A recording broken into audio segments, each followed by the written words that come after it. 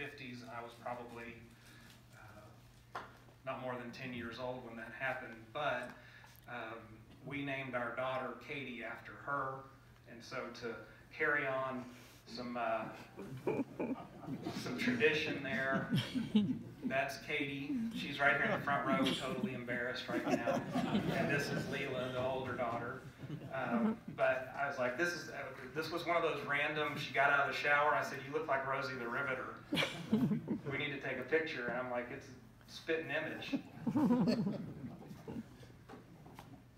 So that, that's pretty much all I've got. The, the stuff that I have up here, um, my dad has a lot of the things that survived.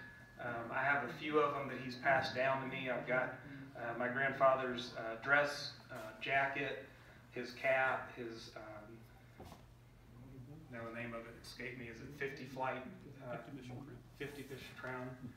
Basic, and that's the one that you can tell that's the one that they didn't dress up in because they put their headset on and crushed it down.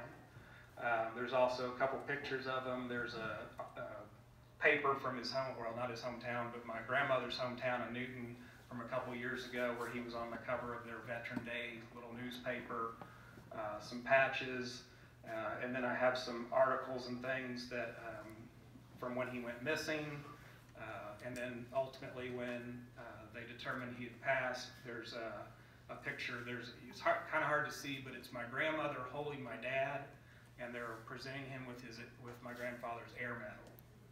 Um, the insignia on that jacket, the jacket uh, didn't have anything on it.